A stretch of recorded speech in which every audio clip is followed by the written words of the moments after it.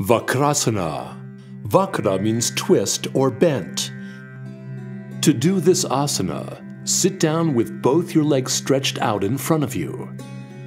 Keep your hands next to your pelvis. Be careful that the weight of your body is not on your hands. This pose is called Dandasana. Now bend your right leg and place the foot next to the knee of your left leg. Now take your left hand across your right knee and place the palm next to your right foot. While slowly breathing out, turn your right hand back and twist your body and head towards the right. Make sure that your back is straight. Breathing in and out normally, stay still in this posture for about 10 to 30 seconds. Vakrasana makes your spine flexible.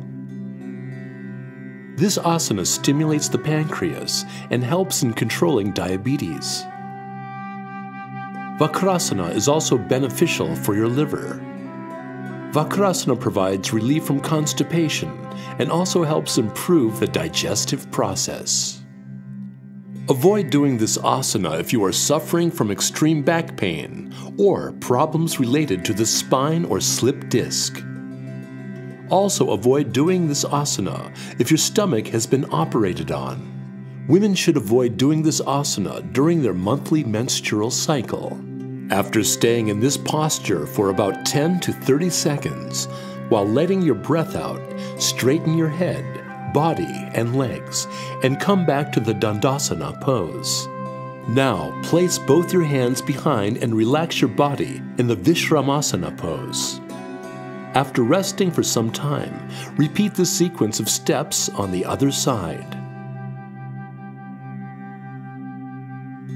Doing Vakrasana regularly decreases the fat in your stomach and has a positive effect on the internal organs of your body and helps you live a life free of constipation.